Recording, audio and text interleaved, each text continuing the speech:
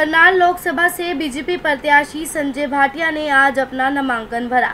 उससे पहले सभी कार्यकर्ताओं को रामलीला ग्राउंड में इकट्ठा करके हरियाणा के मुख्यमंत्री मनोहर लाल खट्टर ने संबोधित किया। उसके बाद संजय भाटिया ने अपना नामांकन करने के लिए वहाँ से अपने काफिले के साथ वहाँ से गाड़ियों में निकले। उनके साथ हरियाणा के मुख्यमंत्री श्री मनोहर लाल खट्टर, बख्शी सिंह वक्र कबीर पंथी हरविंदर कल्याण, कृष्ण पवार, मंत्री करण देव कम्बोज रेणु बाला, अवनीत कौर, मेयर पानीपत आदि भारी संख्या में बीजेपी कार्यकर्ता मौजूद थे।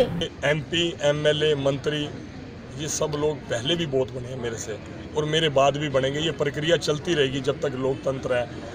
लेकिन जो स्नेह और आशीर्वाद इस चुनाव के अंदर देखने को मिल रहा है अटैचमेंट देखने को मिल रही है, एक हाथ पकड़ता है, दूसरा हाथ पकड़ता है, तीसरा फ़ोटो खींचता है, एक मिनट के लिए बुलाते हैं। सैकड़ों ऐसे कार्यक्रम जिनमें हम जा नहीं पा रहे। क्योंकि एक गाँव में एक बार चले जाएँ, वही इस समय के अंदर बहुत है।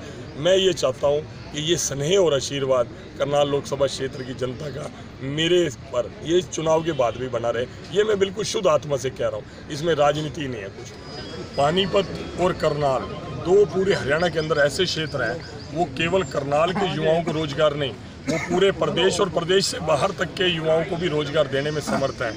आज पानीपत के अंदर पूरे देश भर का जो बेरोजगार युवा आकर काम करता है, वहाँ पर बहुत होता है। और लेकिन मैं चाहता हूँ कि सिस्टमेटिक वे में पोल्यूशन फ्री इंडस्ट्री हो और अच्छा एनवायरनमेंट हो, जो आपसी माहौल है, भाईचारे का माहौल हो तो शांति हो और पोल्यूशन फ्री हो हर तरह की सुविधाएँ जो बेसिक सुविधाएँ हैं एजुकेशन की हेल्थ की ये सारा राइट है समाज का राइट है।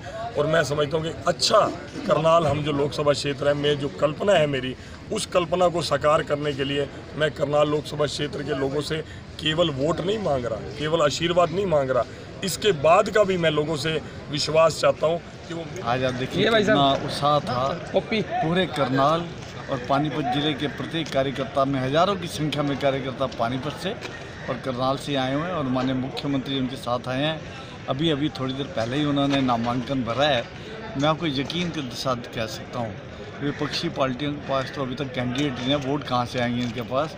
इन सब की जमानत जब्त होगी और संजय जी कम से कम छः लाख वोट से विजयी होंगे, ऐसा हमारा मानना है और हमें इस बात का यकीन है। माननीय मुख्यमंत्री छवि है, सबका साथ, सबका विकास। आप देखिएगा, आने वाले चुनाव में एक तरफा चुनाव है, विपक्षी पार्टियों का तो वहाँ पे बूथ पे कार्यकर्ता भी नहीं होगा और बूथ पे टेंट भी नहीं लगेगा, ऐसा मैं आपको यकीन के साथ कह सकता हूँ। संजय जी को और करनाल की जनता, लोकसभा क्षेत्र की, सबको बहुत बहुत बधाई। संजय जी हिंदुस्तान की सबसे बड़ी जीतों में से एक जीत लेने के लिए जा रहे हैं, करनाल लोकसभा क्षेत्र की जनता के आशीर्वाद से।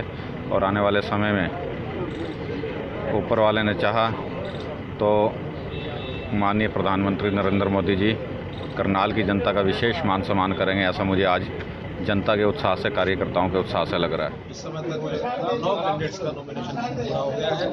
जैसे आज भी तीन जगह करनाल और हिसार में कल उन्नीस तारीख को पाँच लोकसभा के कैंडिडेट्स ने नामांकन भरे थे और अठारह तारीख को भरा था। एक बचा रोहतक का वो बाईस तारीख को नामांकन होगा।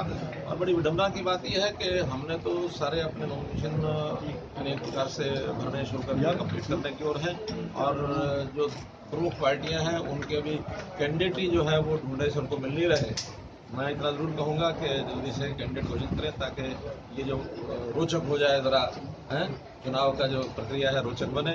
लेकिन विडम्बना ये है कि उनके यहाँ किसी एक पर हाथ रखते हैं तो भाग जाता है, दूसरे पर हाथ रखते हैं तो कांग्रेस वाला वो भाग जाता है। इसलिए जल्दी से